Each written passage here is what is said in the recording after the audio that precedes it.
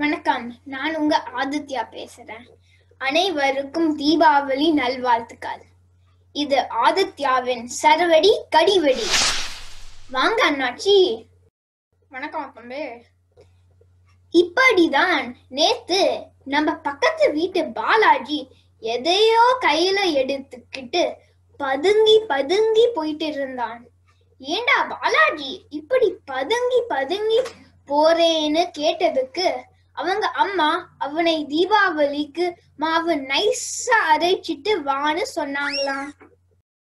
டேய் கடி ரொம்ப பழசா இருக்கே. கடி பழசு ஆனா மாவு புதுசு அண்ணாச்சி. அது சரி. அண்ணாச்சி நீங்க ஏன் கையில ஸ்கேல் வச்சுக்கிட்டு பேசுறீங்க? ஓ அதுவா? எங்க பாட்டி யார்கிட்ட பேசினாலும் அளந்து பேசணும்னு சொன்னாங்க. ஓ அண்ணாச்சி தீபாவளிக்கு நான்வெஜ் சாப்பிட்டேனா? வயிறு ரொம்ப வலிக்குது. நிறுத்தணும். எல்லாத்தையும் நிறுத்தணும். ஆடு மீன் கோழி சாப்பிடுறது முதல்ல நிறுத்தணும். என்னது? ஆடு மீன் கோழி சாப்பிடுறது நிறுத்தணுமா? அதுங்க சாப்பிடுறது நான் எப்படி அண்ணாச்சி நிறுத்த முடியும்? போவே கண்ணு கட்டதே. அது சரி. தீபாவளிக்கு நம்ம எதிர் வீட்டு ஏகாம்பரம் புதுசா கார் வாங்கி இருக்கான்னு கேள்விப்பட்டேன். ஆமா அண்ணாச்சி அது பெரிய காமெடி. நேத்து அவர புதுசா வாங்கின கார் முன்னாடி நின்னுக்கிட்டு கக்கபுக்கு கக்கபுக்குன்னு சிரிச்சிட்டு இருந்தார்.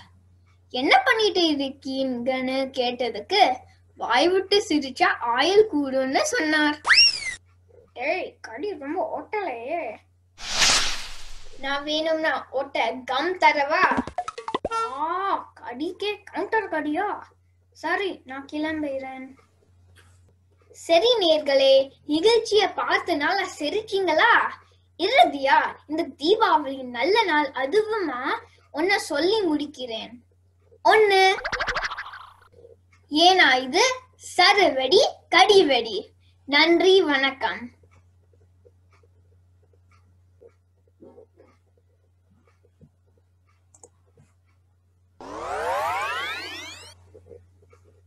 பிச்சுட்டீங்க தம்பி.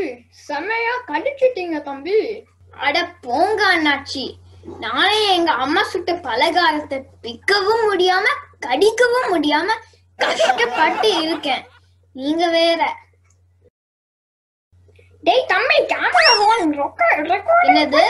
அடடா கட் பண்ணுங்கப்பா